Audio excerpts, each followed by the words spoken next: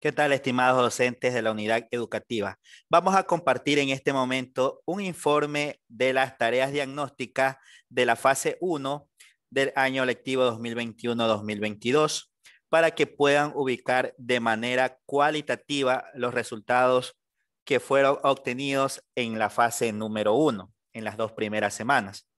En la parte superior tenemos el nombre de la unidad educativa. Pueden ubicar el escudo de la unidad educativa y el logo del Ministerio de Educación, una dirección y un teléfono. Informe de tareas diagnósticas fase 1, 2021-2022. En los datos informativos, aquí presentamos el nombre del docente, la asignatura, aquí vamos a hacerlo con un ejemplo, asignatura de matemática, ustedes lo pueden adecuar con la asignatura de lengua y literatura, según el caso. Grado o curso, paralelo, el número de estudiantes, aquí desglosar el número de estudiantes que son mujeres y el número de estudiantes que son varones. La semana 1 eh, estuvo comprendida del 10 al 14 de mayo del 2021 y la semana 2 del 17 al 21 de mayo del 2021. El objetivo general del diagnóstico era identificar sus fortalezas y debilidades con los tres procesos, observar las preferencias del estudiante cuando selecciona actividades relacionadas a la lectura, escritura y producción oral. Identificar las estrategias de enseñanza que fortalezcan el desarrollo de los tres procesos. Prevención de problemas de aprendizaje tanto en lectura, escritura y producción oral. Aquí tenemos nuestra escala cuantitativa de valoración de tareas diagnósticas. Esta escala consta de lo siguiente domina los aprendizajes requeridos, eh, la sigla DAR, una evaluación cuantitativa cuando el estudiante estuvo de 9 a 10, pero solamente vamos a utilizar esta nomenclatura. DAR si domina los aprendizajes requeridos.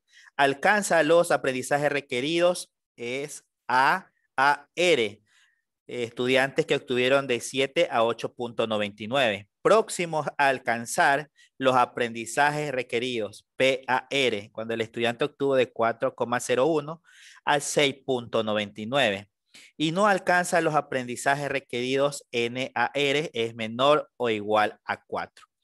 En este caso presentamos un ejemplo con el área de matemática, los nombres y apellidos de los estudiantes. Esta tabla o esta matriz está para 45 estudiantes, ustedes lo pueden aumentar.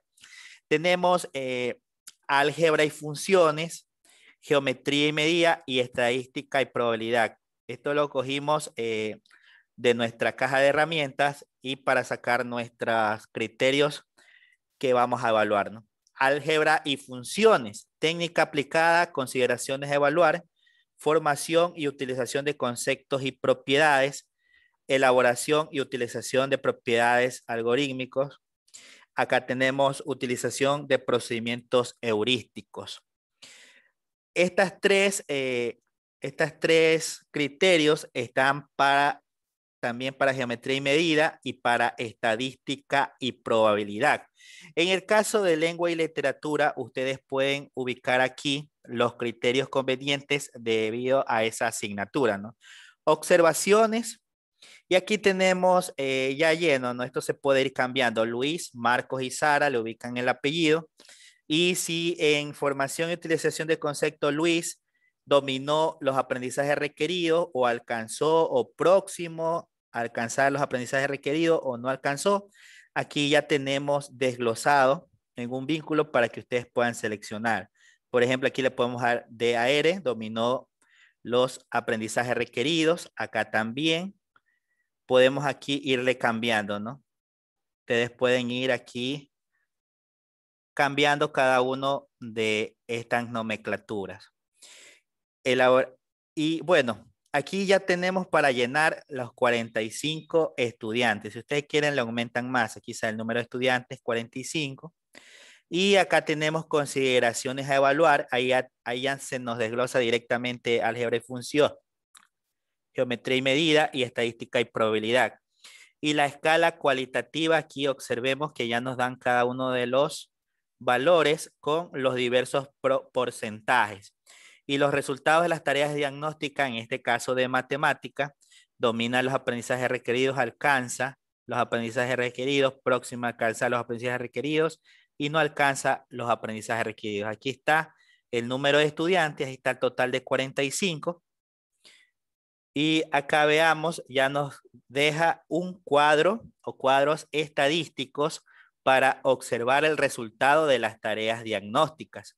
Por ejemplo, aquí dicen que dominan los aprendizajes requeridos el 27% de los estudiantes. Alcanza los aprendizajes requeridos el 47% de los estudiantes. Próximos a alcanzar el 16% y no alcanza el aprendizaje requerido 11%. Esto da de acuerdo a lo que ustedes vayan ubicando a cada estudiante dentro de estos criterios, ¿verdad? Y por último, eh, ubican conclusión y estrategia de nivelación formativa a implementar, es decir, en qué parte o en qué temas el estudiante tuvo un déficit para poder realizarlo en la nivelación formativa, ¿sí? Y colocan todo lo que tengan falencias, ¿no? En este caso, en el área de matemáticas.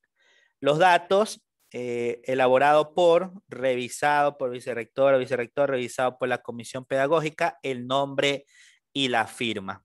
De esta manera, eh, resulta un proceso cualitativo para poder eh, presentar nuestro informe de tareas diagnósticas de la fase 1. Este formato lo van a tener en el link de la descripción del video. Muchas gracias.